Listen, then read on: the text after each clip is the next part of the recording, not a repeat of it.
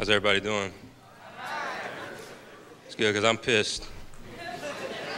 Because I went to pick up my personalized license plate and they wouldn't issue it to me. Said it had too many letters in it. I said, yeah, right. Let me ask you something. Are there too many letters in Kill Whitey?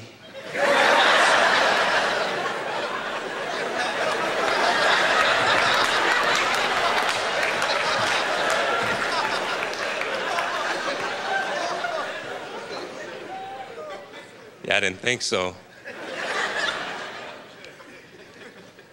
It's good to be back on stage. I've been away from performing for a while. You know, I was on vacation.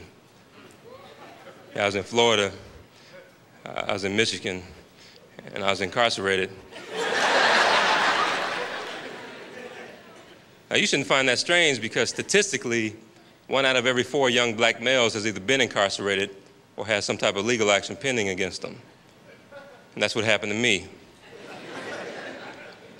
Police came up to my house and they said, Yeah, we know you haven't done anything, but statistically, we got to run you in.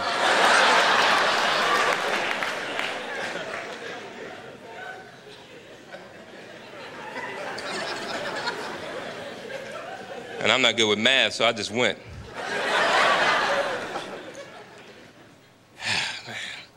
I live in LA now, and I, we just went through the riots.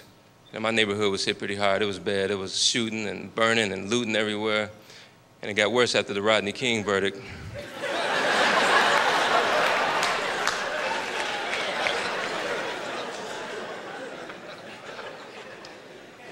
I'll tell you, the lingo in the hood is a lot different than the ghetto that I came from.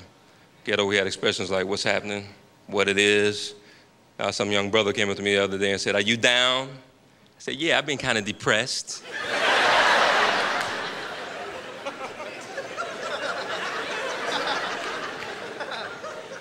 A lot of problems in my neighborhood, man. The other day I walked out of my house and there's a transient out there, a bum, and he said he wanted change.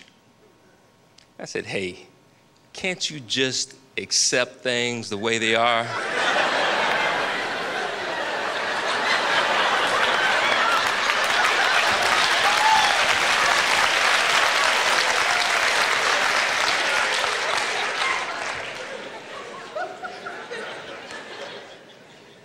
I'm trying to expand my horizons, though. I'm getting out doing things cross culturally.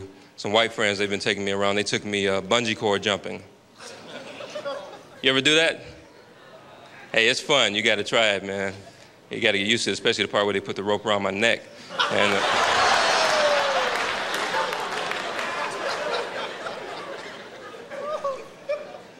I was in a relationship with a woman, though, not too long ago, and she happened to be white. And uh, I saw Jungle Fever. I said, we got to talk.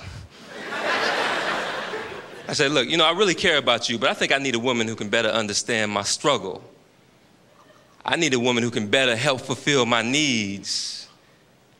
I need a rich white woman